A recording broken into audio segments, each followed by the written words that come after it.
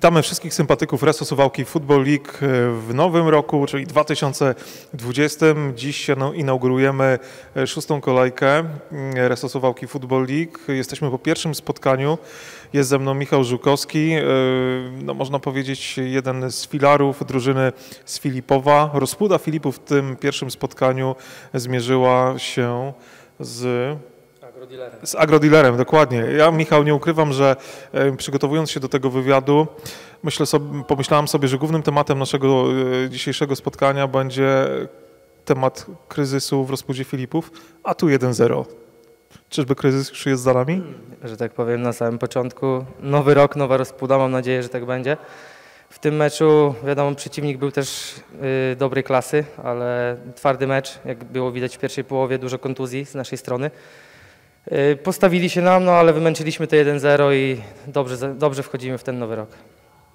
Michał, no bo nie ulega wątpliwości, tak, w pierwszej kolejce y, zwycięstwo z Artirem 3 do 2, a później wysokie porażki 1 do 4 z techniką grzewczą z Zuch, 6 do 1, y, z, już nie pamiętam, y, z Oleckiem dokładnie, później niewielka przegrana z y, chociażby Sportą Active Team. Chyba ta y, ostatnia porażka najbardziej zaskoczyła y, kibiców y, Reso Suwałki Football League, no bo liczyli, że w tym spotkaniu jednak dojdzie do przełamania, a tu proszę, niespodzianka. Ale powiem szczerze, że właśnie z tym spotkaniu z Puńskiem pierwszy raz po kolejnej porażce schodziłem z podniesionym czołem, tak, bo widziałem jak drużyna naprawdę była zaangażowana w grę.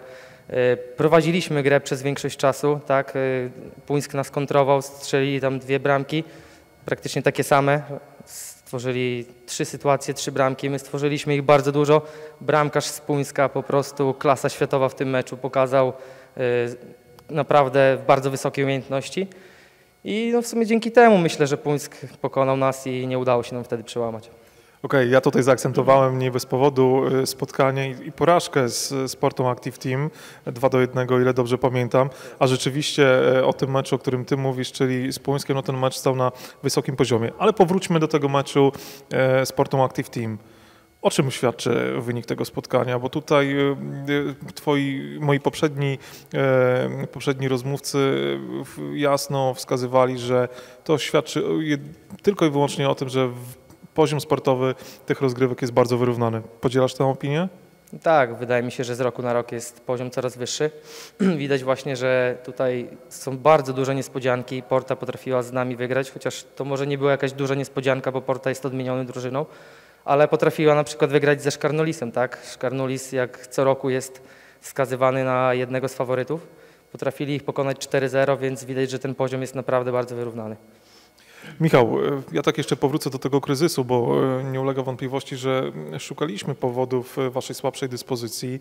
W drugim meczu można było to wytłumaczyć nieobecnością Pawła Fajkowskiego, ale w kolejnych spotkaniach zagrał. Co się generalnie stało? Nie wiem, mentalnie wasze morale gdzieś spadły troszeczkę no niżej, nie wiem, zabrakło motywacji? To znaczy, zmotywowani jesteśmy na każde spotkanie. E, Tak jak właśnie powiedziałeś, pierwszy mecz wygraliśmy 3 do 2. Byliśmy już naładowani pozytywną energią, pomyśleliśmy, że już to jakoś pójdzie, pójdzie z górki, będzie dobrze. No ale niestety, tak jak to jest piłka nożna, sz- zabrakło nam szczęścia zdecydowanie. W drugim meczu właśnie technika grzewcza Zuch pokazała, że naprawdę jest to drużyna, która została zbudowana z fajnych zawodników, którzy pokazują wysoki poziom. Y, Dwóch zawodników tak jest na pierwszym miejscu y, w tabeli strzelców, więc to też o czym świadczy, że ten duet jest bardzo zgrany. Y, Co mogę powiedzieć? Po- Byli lepsi, tak, dlatego wygrali. W kolejnym meczu z Oleckiem. Olecko nam nigdy nie leżało. Rok temu też przegraliśmy z Oleckiem. Pokazali naprawdę świetny futbol.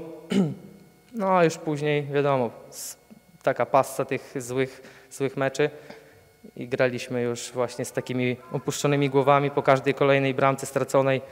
Y, Nie potrafiliśmy się podnieść, no i jest, było jak było niestety.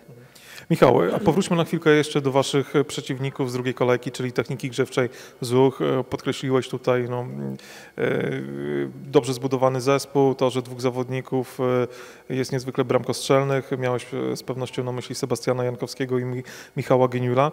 Myślę, że to jest jeden z pretendentów do tytułu mistrzowskiego. Jest to drużyna, która realnie będzie potrafiła zagrozić e, 14 pułkowi?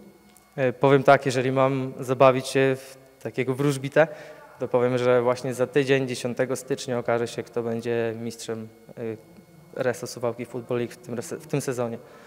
No, a wróżbita Michał, co by obstawiał? No, W tym meczu obstawiam, wydaje mi się, że będzie mecz na remis i się jeszcze tak szybko nie okaże, kto będzie tym mistrzem, ale na pewno technika grzewcza ZUch pokazuje w tym sezonie, że jest drużyną, która, która na pewno będzie się biła o pierwszą trójkę i w tej trójce będzie. Okej, myślisz, że no tutaj e, drużyny będą trzymały nas w takich emocjach, jakie towarzyszyły chociażby wszystkim kibicom w, w poprzedniej edycji, kiedy to w ostatniej kolejce, do, ostat, tak naprawdę do meczu e, właśnie czy wtedy 14 dywizjonu, dziś 14 pułku e, z gminą Suwałki, wówczas Elektromil Rudka Tartak? Y, No, mam nadzieję, że tak będzie, bo to będzie na pewno dodawało większego smaku tej lidze. Y, Też chciałbym przypomnieć, że właśnie całe podium było rok temu niepewne do ostatniej kolejki, dlatego właśnie to było bardzo interesujące.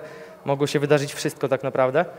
I mam nadzieję, że w tym roku też tak będzie, że jednak 14 pułk nie odskoczy tak, tak bardzo wszystkim rywalom i w tym meczu z Techniką Grzewczozów będzie remis i jednak do końca będą obie te ekipy walczyły o mistrzostwo. Okej, Michał, to odcinamy grubą krechą rok 2019, jesteśmy w roku 2020. No, z, drugiej strony nie możemy do końca odciąć, bo jednak te, te punkty uciekły. Biorąc pod uwagę stratę mm, punktów w tych y, czterech meczach, o co tak naprawdę w tej edycji będzie walczyć y, Michał Żukowski z Rozpłodą Filipów?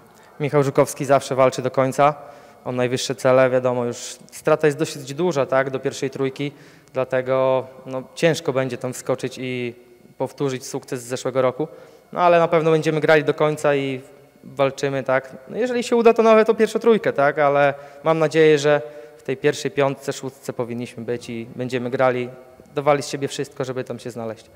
Michał, y, nie odkryję tutaj nic nowego. Ty z pewnością jako doświadczony zawodnik o tym wiesz. Gra toczy się do, do ostatniej sekundy, co dzisiaj chociażby można było zaobserwować w waszym pojedynku, bo fantastyczna interwencja e, Piotra Trzasko. No, no, chyba potwierdza, że to jest naprawdę jeden z wyróżniających się bramkarzy. Zdecydowanie. Piotrek y, na początku zaczął od kontuzji, tak, nie było go w pierwszych dwóch meczach, ale wrócił, powoli dochodzi do formy i właśnie widać, że z meczu na mecz nabiera coraz większej pewności siebie i wraca do tej dyspozycji z zeszłego roku. Wiadomo, że Piotrek będzie naszą, naszym głównym filarem w walce o jak najlepsze lokaty i na pewno nam pomoże. Okej, to jeszcze zapytam na, na sam koniec o Adriana Jurewicza, bo to wyglądało naprawdę dosyć tak niepokojąco. Y, Nie powrócił do gry. Coś poważnego? Y, Miejmy nadzieję, że nie, że to tylko stłuczenie, bo z tego co wiem, coś stało się z ręką. Y, Schodził z grymasem bólu, ale teraz właśnie jak już zszedłem do szatni, do chłopaków, to mówił, że raczej wszystko będzie ok i że nie będzie większego urazu. A to z pewnością zasługę całego zespołu, bo zdobyliście trzy punkty, wygraliście to spotkanie. Michał, dziękuję za rozmowę, gratuluję również e, oczywiście tej wygranej, tej wygranej, która na początku roku e, tego Tobie życzę i całej drużynie, żeby była dobrym prognostykiem e, w, dalszych, e, w dalszej rywalizacji w Reso Suwałki Football League. Dzięki za rozmowę. Dziękuję bardzo.